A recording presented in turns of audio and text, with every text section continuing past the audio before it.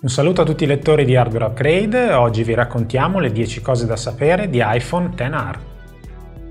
iPhone XR è la strada che Apple sceglie per portare l'esperienza di iPhone XS e XS Max ad un maggior numero di persone, strada che prevede l'impiego di materiali meno pregiati ma comunque di alta qualità, a partire dall'alluminio colorato per la costruzione dello chassis. iPhone XR è certificato IP67, ovvero può resistere ad una profondità massima di un metro per 30 minuti per iPhone XS la resistenza è fino a 2 metri.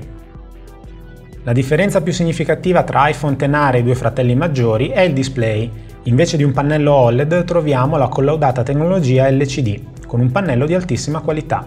Apple è riuscita a mantenere le cornici quanto più sottili possibili, impresa abbastanza complicata con un pannello di questo tipo. La risoluzione è di 1792x828 pixel con una densità di 326 pixel per pollice iPhone XR è privo di 3D Touch. Questo vuol dire che non è più possibile aprire menu contestuali o accedere alle scorciatoie delle app toccando lo schermo applicandovi una pressione più o meno intensa. Apple ha cercato comunque di conservare un'esperienza d'uso simile almeno nel control center e all'interno di alcune app, dove basterà prolungare il tocco del dito sul display senza la necessità di esercitare una pressione maggiore.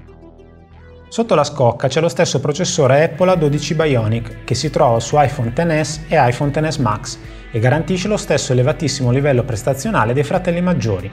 Parliamo del 20% in più lato CPU e fino al 50% in più lato GPU rispetto al predecessore Apple A11. Rispetto ad iPhone XS e XS Max, iPhone XR ha una sola fotocamera posteriore, quella con focale grandangolare equivalente da 28 mm.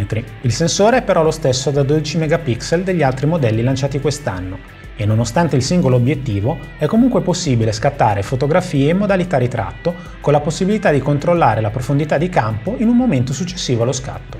I risultati sono molto convincenti e l'effetto funziona piuttosto bene.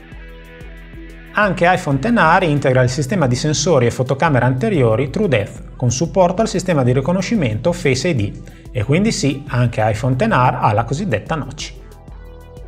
Come fratelli maggiori anche il nuovo iPhone XR supporterà la doppia SIM, una in formato fisico, l'altra virtuale grazie alla tecnologia Embedded SIM. Parliamo al futuro perché il supporto effettivo arriverà solo nel corso delle prossime settimane, ancora senza una data precisa poco più grande di iPhone XS e poco più piccolo di iPhone XS Max.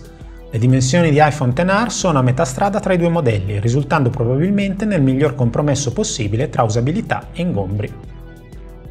iPhone XR è proposto in 6 differenti colori. Oltre alle ordinarie livree bianca e nera troviamo le colorazioni blu, gialla e corallo e la versione Product Red. Il prezzo è uguale per tutte le colorazioni. E a proposito di prezzo, si parte da 889 euro per la versione con 64 GB di spazio, per arrivare ai 1059 euro se si desiderano 256 GB. Il prezzo di partenza è il 35% in meno rispetto ad iPhone XS e tutto sommato l'esperienza d'uso non è poi così diversa.